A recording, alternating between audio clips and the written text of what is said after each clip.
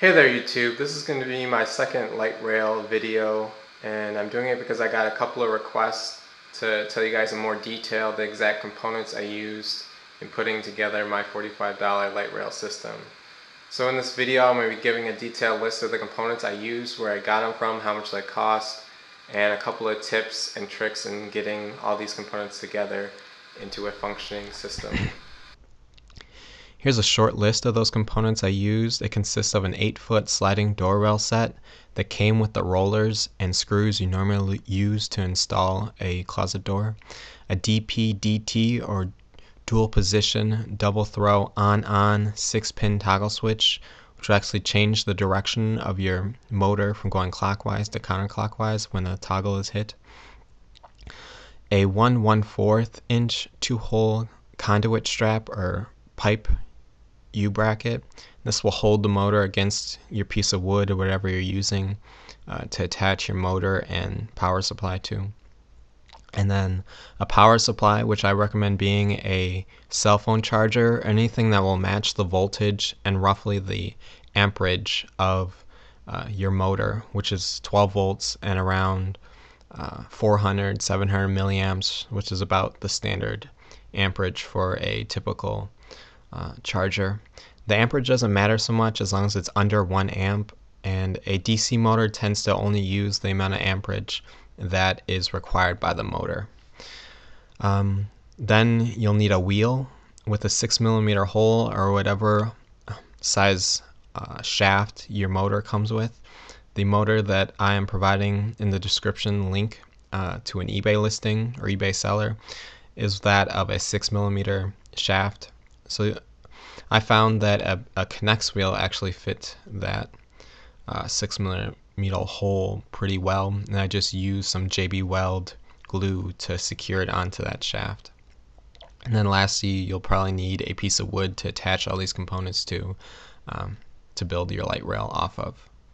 I here, right here, I have a DPDT on-on toggle switch, and I'm going to be soldering it to replace the slide switch that I initially installed on my on my light rail originally. This one only has an on on position. It, the middle one doesn't it doesn't have a middle position of off, which is what you need. Otherwise, when your light rail hits a toggle, it will just turn itself off instead of switching um, into the other direction. So here we go. First step is to get some wire.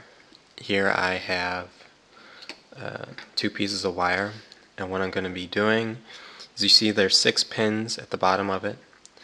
I'm going to be putting two pieces of wire on the diagonal meaning on this one to this one and this one to this one. And I'm also going to be connecting these diagonal switches to my power supply. Um, Here's a diagram I made for you guys to illustrate how you're going to be wiring your DP-DT switch. What you see in red is what I'm going to be doing right now and you can see there's two wires uh, crossing each other but not touching and those wires are going to be also connected to your power supply. And the two center pins are going to be what connect to your motor. If you pay close attention, you'll notice that I actually soldered them in parallel instead of crossing them. I went back and fixed the issue, I just didn't show it on camera. Going to apply a little bit of flux before I solder it.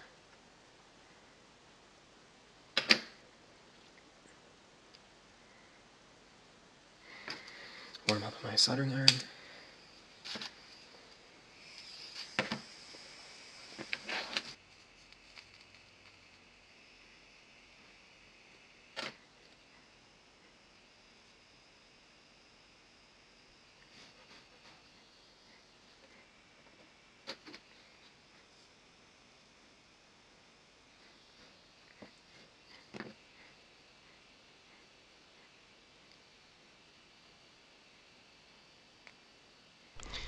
It's also somewhat important to mention that you don't want to get a heavy duty switch because they tend to be more difficult to turn over or to switch from one direction to the next.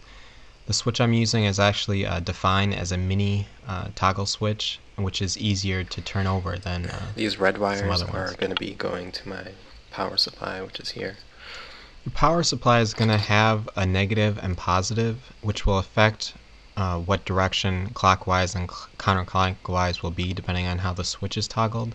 And that matters um, depending on how you install your switch on your device. Just be aware, aware of that and get it uh, correct on how you're going to mount it to uh, your piece of wood, if that makes any sense. Like this. Plug it in.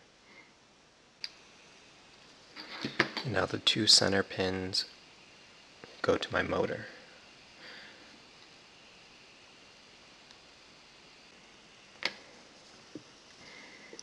I'm going to apply my solder, making sure that none of the pins are touching.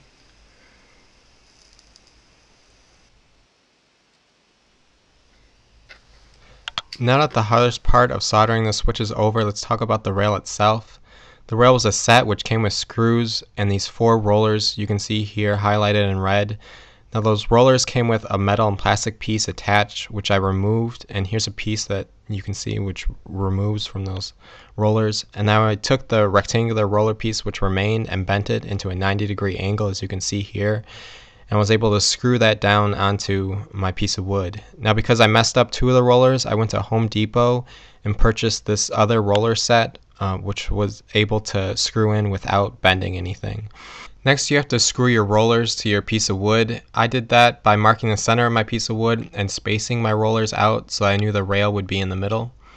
If you end up buying the additional roller set, one thing to mention is that there's a small piece of metal, as you can see here, which actually grinds against the rail and prevents the rollers from ro- moving smoothly. I solved that issue by taking a Dremel tool, a metal file, and removing that small section of metal, which allowed my rollers to move more freely. Now that that's done, let's talk about the motor. I purchased this one off eBay for $15 because they're in the US. You can buy them from Hong Kong and other places in China for around 8 with free shipping. I'll provide a link to an eBay seller in the description of this video if you're interested. Now to attach this motor to my uh, piece of wood, I used a piece of conduit strapping that I purchased from Home Depot for like $2. It's a 1 1 4th inch, which is just shy of the dimension of the upper gearbox of this motor. Now it's time to attach your wheel to your motor. I used a K'NEX wheel which had a 6mm hole and used glue to attach it to the shaft. You have a couple of options here. Um, the eBay seller that I mentioned provides a 6mm coupling which you can use with a set of wheels they also sell and use those to attach your wheel to your motor although it does add cost. Here's a short video of everything attached and running. I'll leave it up to you as far as how you want to mount your light to your piece of wood. I used two pieces of mason's line and a couple of metal brackets I had lying around, but you can use whatever works for you. One other thing to mention is the actual toggles um, mounted to your rail. I just used uh, pieces of double-sided tape to stick them to the inside of my rail.